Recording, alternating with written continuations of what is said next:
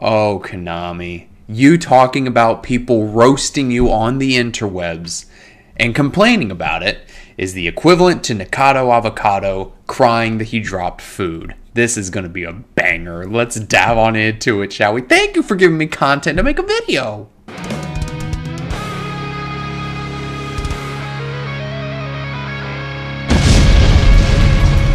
Hello, ladies and gentlemen. It is your host with the most, Avery LR32 here, and destroy the ever living boo boo stain off that like and subscribe button, as well as ringing that ding dong Taco Bell notification bell so you can be part of the A gang. Because you know, I love, I just love, it's a favorite pastime when I'm not roasting Master Duel because I'm not a minute into the video, so I can't say what I really want to say, but you know what I want to say.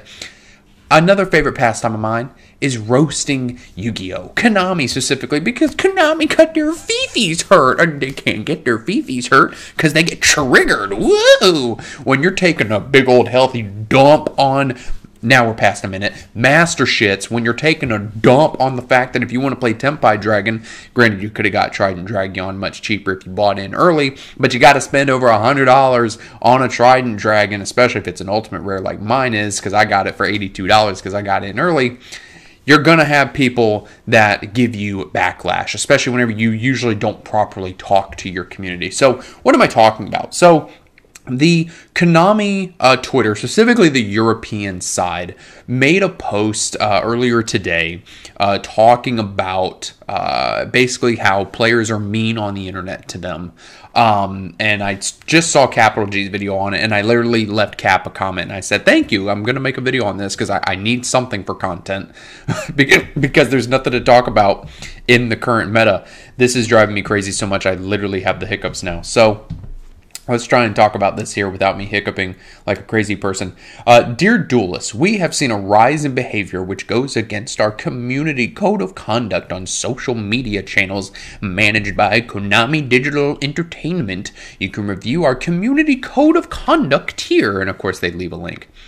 They go on to say passion for the game is no excuse for insults or violent threats directed at employees of Konami or or other fans. Uh, that okay, whatever. Uh, such behavior is not tolerated by us. Any players engaging in such conduct are in violation of the community code of conduct, which may lead to a suspension from organized play. Online abuse and threats can also amount to criminal behavior, which is reportable to the authorities. And now that part, a uh, little quick side thing about that. That's absolutely effed up. Um, if, if you're like making threats online and like threatening Konami and like all this other stuff, you, you need to go touch grass. You need to get off the internet. You need to close down your computer for the day.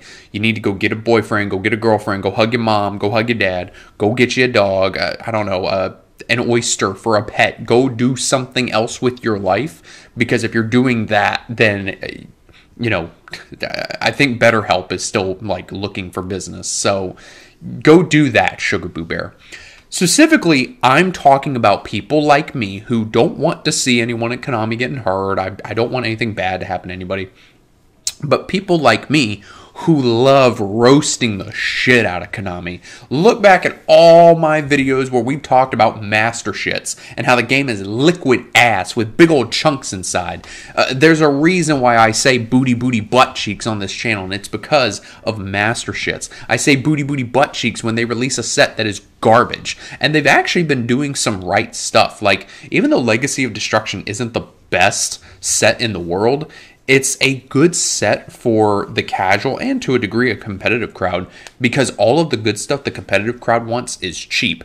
And like all of the crap Yugi cards and whatever, the Gold Star Light stuff, they made that high rarity, which is something like the casual crowd is going to want. Like, yeah, the casual crowd doesn't want it to be max rarity, but like they're going to want nice looking cards, whereas we don't really care about that. Like the Tenpai stuff being low rarity is a good thing, other than Trident Dragion, which some people have been complaining about as well, where uh, Jerome McHale was like, you know, be sure to pick up your Trident Dragion, you know, see if a friend has one if you don't have it. Like, you didn't say anything about it being in rarity collection, which would have been a great way to push that set. So people have been like, you know, roasting them for that. But when you don't go in depth and you don't explain what it is specifically that the community is saying or doing that is making you triggered and like getting you all upsetty spaghetti, then what do you really have to talk about? Like, shut up. like, you're not ever communicating with the community. This goes for Europe. This goes for America. This goes, I would say, for all territories, uh, because I would think that they're all tied at the hip, minus the OCG. The OCG does better at communicating than the TCG. The OCG actually has end dates for their fucking ban lists, which is crazy to think about, I know, because like over a decade now, we haven't had end dates on our ban list. And they'll actually say, like, the next update after this will be, say, for example, October 1st we don't get that in the TCG anymore, and it's really a shame. And I absolutely love Yu Gi Oh! to death. Obviously, I don't want, you know, Konami employees to be threatened online or anything like that. Like, that's a totally whole other issue. And that's why I've even made it a point on the channel a couple times to say things like, look, I'm an entertainer. I'm a Yugi tuber. It's not entertaining for me to sit on my fat ass and tell you, hey guys, we are in a tier zero format. Thank you for watching. I'm going to go play Fallout 4 now. Don't talk to me. Bye. Like it, it's not entertaining. I mean, maybe someone would find that entertaining, but uh, when I'm getting into character, even with stuff like this, or I'm talking about get your Chaos Emerald gems on Master Shits, woo! Like it's entertaining. I've actually had people tell me like they think that that's really funny when I do that, and I've also had people tell me like when I made my initial video on Master Shit saying it's hearth, it's hearth gold, it's Hearthstone with a Yu-Gi-Oh skin. Someone commented was like Hearthstone with a Yu-Gi-Oh skin. That's gold, like that's perfect because like that's all it is, and it's also just garbage in general. But all that besides the point. Also, a lot of players on Master Duel are really bad players. Like my dad's been showing me some of his replays and stuff of people he's played. Those people are garbage. Like I'm sorry, these people are trash at the game. Like I'm not trying to be mean. I'm sure there's a few like golden, you know, cows or cattle eggs in the basket, whatever, that are good, like Joshua Schmidt, Jesse Kotton, all that. But like everybody else is just those players are bad.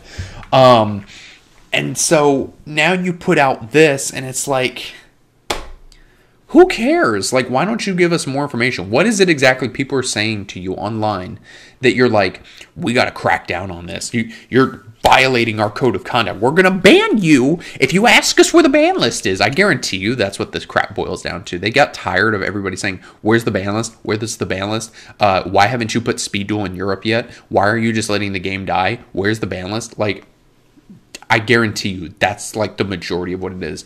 I wouldn't be surprised if like people who roast Konami, like specifically on YouTube, that have a much bigger following than me, don't be surprised if they're on the next suspended players list. It would not surprise me one bit, even though they don't have that public now, which is crazy. Like, they don't have it up right now, so I don't know if they just haven't updated it, but like, you can't even see who's suspended right now, which is crazy.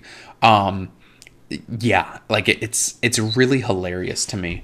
Um, to kind of wrap this up here, there's some comments that I've seen um, of people talking about this as Capital G's got to play an ad because he's got to make money, I guess. Uh, let's see. Yeah. Um, like this person here said, reminder Konami does not control the secondary market or prices of singles. The social media manager is not responsible for whatever you're mad about. It costs nothing to be normal. Please be normal. Like, yeah, I mean, uh, that, that that's all it comes down to. Um, this person said, I got to know the story that incited this WTF. Um, another person made a good point too, where it says, uh, one of the offenses is posting, distributing, or linking to obscene content, uh, sexually explicit content. The Twitter bots are going to get banned from Yu Gi Oh! Like, that's a Twitter issue. Um, so that's what maybe people were thinking that that's what's going on. Um, but it's it's of course hard to say because again, Konami doesn't really communicate with us. But if you think for a minute that I'm gonna quit roasting Konami, like I love the game, don't get me wrong, but I'm not going to sit here and say things are perfect when they are. The format's actually in a very good place right now. I actually really like this format.